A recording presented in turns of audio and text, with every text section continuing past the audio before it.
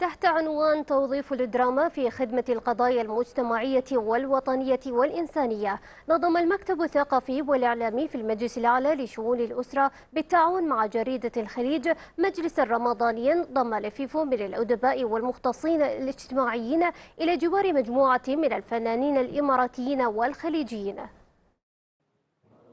الفن رسالة والكاتب الذي يكتب يجب أن تكون لديه رسالة فيحاكي عبر عمله الفني واقع الناس ويسهم في طرح القضايا الوطنية والاجتماعية بصورة واقعية.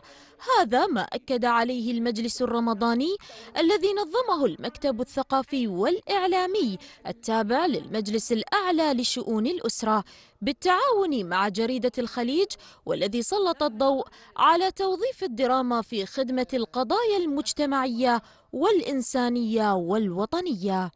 في استغلال لقضايانا الوطنية لخدمة الدراما. المفروض العكس يكون. إحنا نسخر الدراما لخدمة قضايانا الوطنية.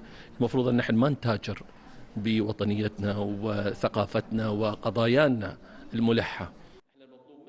حضر الجلسة الرمضانية كل من مدير الجلسة الممثل والمنتج الدكتور حبيب غلوم والفنان سيف الغانم والمخرج والفنان المسرحي حميد سمبيتش والفنانة آلاء شاكر والمخرجة خالدة مجيد مخرجة المسرحيات بالمكتب الثقافي في المجلس الأعلى لشؤون الأسرة.